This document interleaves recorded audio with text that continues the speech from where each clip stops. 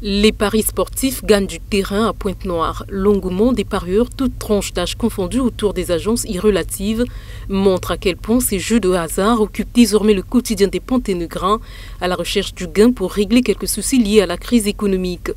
Un parieur explique sa motivation et la pratique du jeu. On est intéressé parce qu'on connaît bien le foot. C'est d'abord ça. Euh, après, bon, c'est un jeu, mais c'est un jeu d'hasard. Bon, en fait, euh, ce n'est pas les calculs. Mais pour jouer à ça, il faut avoir d'abord une connaissance sur le foot. Parce que on connaît déjà les matchs, comment ça se passe. Telle équipe va jouer avec telle équipe. Vu les performances, j'ai déjà une idée. Surtout, il ne faut pas être fan. Parce que quand on est fan, on va beaucoup échouer. Chacun veut tenter sa chance en multipliant les occasions de jeu et les résultats sont probants pour ceux à qui la chance sourit, à en croire les parieurs. Il y a l'argent, mais c'est un hasard. Tu peux, tu peux jouer maintes fois. Même six mois, tu ne gagneras jamais.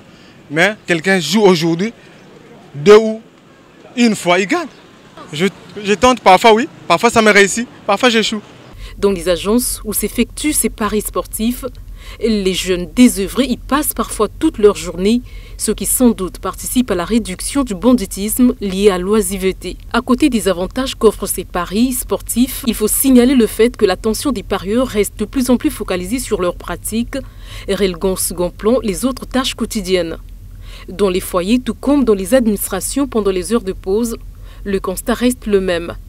Une habitude qui semble ainsi devenir une seconde nature pour les parieurs qui y consacrent dès lors presque tout leur temps.